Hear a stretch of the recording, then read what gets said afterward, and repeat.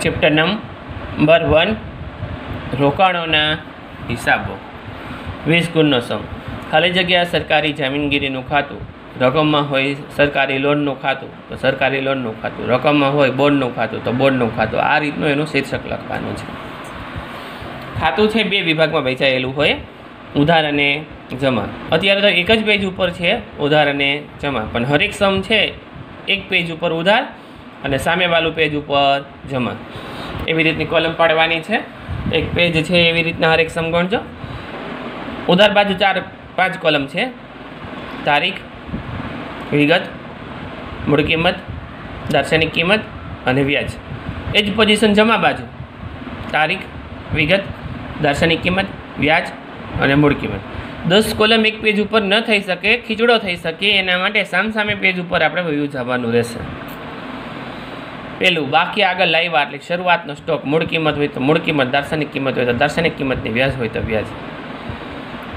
શરૂનું ચઢત વ્યાજ. શરૂના સ્ટોક ઉપર વ્યાજ ગણવાનું છે એક મહિનો, બે મહિનો, ત્રણ મહિનો રકમમાં જે ડેટ આપી હોય એ પ્રમાણે. અને કાઉન્સમાં પર્સન્ટેજ મુજબ જે હોય તે દસ ટકા, પાંચ ટકા. વ્યાજ સહિત ખરીદી, એટલે કે બેંક ખાતે. હવે ખરીદી બે જ પ્રકારની હોય. વ્યાજ સહિતની હોય અને વ્યાજ બાદની હોય. તો નીચે ઉપર લખ્યું છે, વ્યાજ સહિતની ખરીદી. કાઉન્સમાં લખ્યું છે, બેંક ખાતે. તો સેકન્ડ લખ્યું છે, વ્યાજ બાદની ખરીદી. કાઉન્સમાં લખાય બેંક. તો બે જ પ્રકારની ખરીદી હોય, એ સિવાય કંઈ હોતી નથી. તો મૂળ કિંમત, દર્શનિક કિંમત અને વ્યાજ જે હોય તે. હવે આપણે ડિવિડન્ડની વાત કરી છીએ. અથવા તો રોકાણ કર્યું તો વ્યાજ હોય, શેર હોય તો ડિવિડન્ડ મળે. તો વ્યાજ હોય તો વ્યાજ લેવાનું, ડિવિડન્ડ હોય તો ડિવિડન્ડ લેવાનું. બેંક ખાતે જે કિંમત હોય તે કિંમત.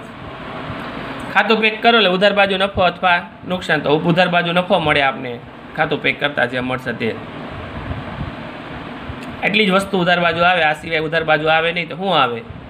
શરૂનો સ્ટોક શરૂના સ્ટોકનો વ્યાજ અને વ્યાજ સહિત ખરીદી અને વ્યાજ બાદ ખરીદી. વ્યાજ અને ડિવિડન્ડ અને નફો.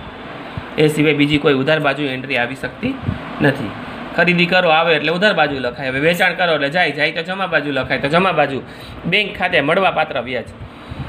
વ્યાજ છે વર્ષમાં ત્રણ વખત ગણાતું હોય, ચાર વખત ગણાતું હોય, તો બે વખત ગણાતું હોય. એનું વ્યાજ અહીં લખવાનું જે હોય તે બેંક ખાતે કાઉન્સમાં લખ્યું છે, વ્યાજ સહિત વેચાણ હોય અને વ્યાજ સહિત વેચાણ અને વ્યાજ બાદ વેચાણ.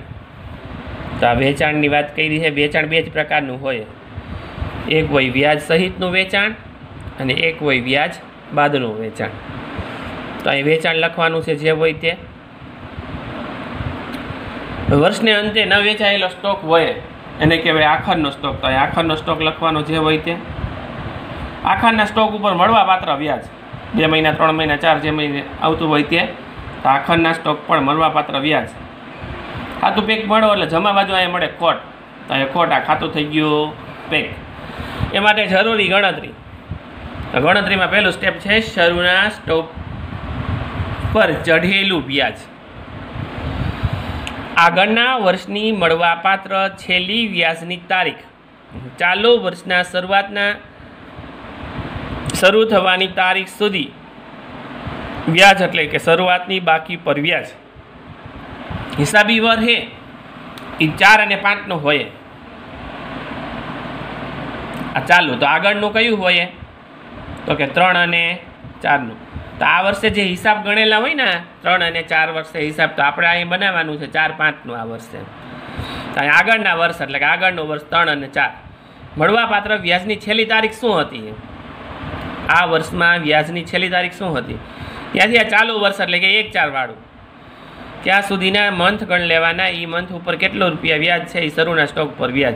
સૂત્ર શું છે? તો કાંઈ બરાબર પીઆરએન છે સો પી આઈ એટલે કે વ્યાજ, પી એટલે કે મુદલ, આર એટલે કે ટકા અને એન એટલે કે મુદત, કેટલું છે તે?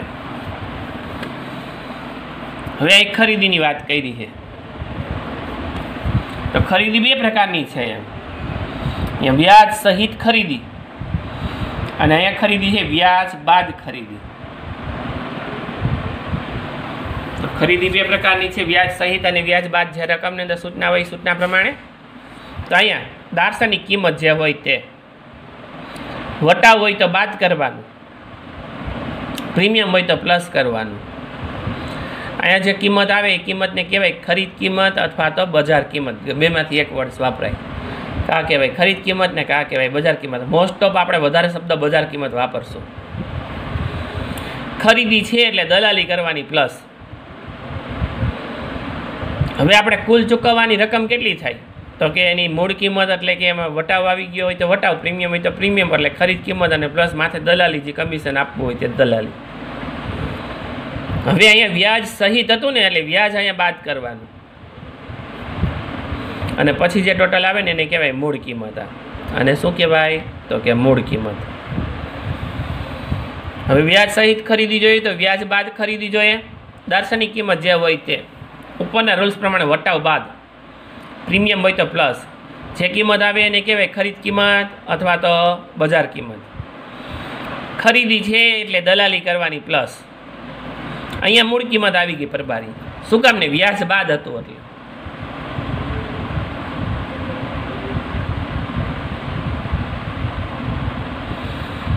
અહીંયા વ્યાજ બાદ હતું ને એટલે વ્યાજ કરવાનું પ્લસ.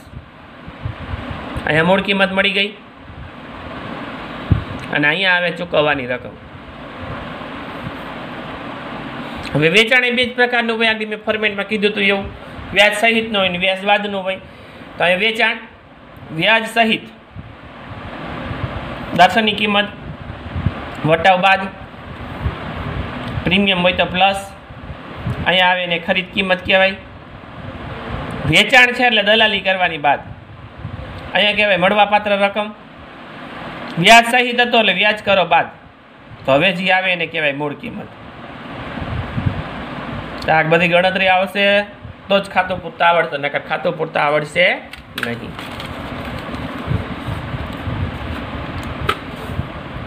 હવે વ્યાજ બાદ વેચાણ. દર્શનની કિંમત. પ્રીમિયમ હોય તો પ્લસ, વટા હોય તો બાદ. આને કહેવાય વેચાણ કિંમત. વેચાણ છે એટલે દલાલી બાદ. અહીંયા કહેવાય મૂળ કિંમત. વ્યાજ બાદ હતું એટલે વ્યાજ કરવાનું પ્લસ.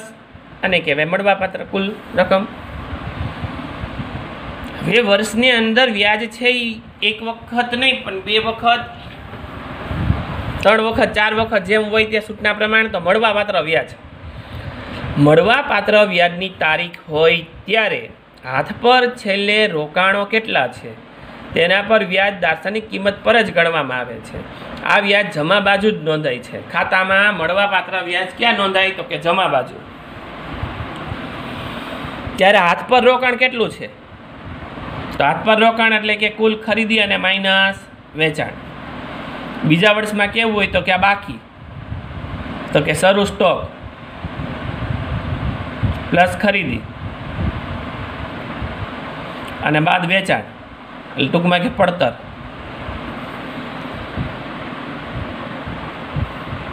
હાથ પર રોકાણ કેટલું છે? એટલે કે બાકી, શરૂનો સ્ટોક, પ્લસ ખરીદી અને માઇનસ વેચાણ.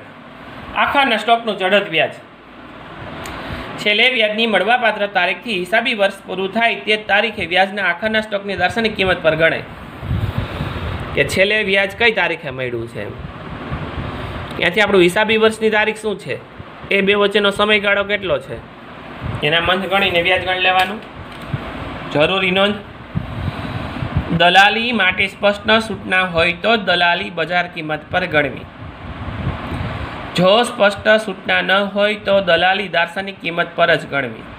રકમની અંદર જોવાનું દલાલી કઈ કિંમત ઉપર ગણવાની કીધી છે? જો કઈ સૂચના ન હોય તો દલાલી બજાર કિંમત પર ગણાય અને જો સૂચના હોય તો દાર્શનિક કિંમત પર ગણે. સેકન્ડ નંબર દલાલી વિશે કોઈ સૂચના ન હોય તો દલાલી ગણવી જ નહીં. વેચાણ હોય તો દલાલી બાદ થાય અને ખરીદી હોય તો દલાલી પ્લસ થાય.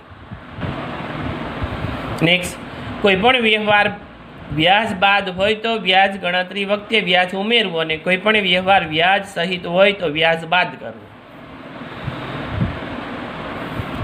નેક્સ્ટ ખરીદીમાં દલેલી ઉમેરવી અને વેચાણમાં દલેલી બાદ કરવી. તો રિપીટ પાછો આવ્યો. દલાલી સ્પષ્ટ સૂચના હોય તો બજાર કિંમત પર ગણવી અને બજાર કિંમતને ધ્યાનમાં લેવી નહીં. સૂચના ન હોય ત્યારે દાર્શનિક કિંમત ઉપર ગણવી. વ્યાજ હંમેશા દાર્શનિક કિંમત પર જ ગણાય. આખરના સ્ટોકનું સૂચન હોય તો, સૂચન ન હોય તો ફીફો પદ્ધતિ મુજબ જ ગણતરી કરવી. સૂચના ન હોય તો કોઈપણ વ્યવહાર વ્યાજ સહિત ધ્યાનમાં લેવામાં અને ગણતરી કરવું. રકમની અંદર વ્યાજ સહિત ખરીદી છે કે વ્યાજ બાદ વેચાણ છે? એવું કોઈ સૂચન જ ન હોય તો વ્યાજ સહિતનું જ ધ્યાનમાં લેવાનું. વ્યાજ સહિત ખરીદી અને વ્યાજ બાદ વેચાણ તો અહીંયા થિયરી થઈ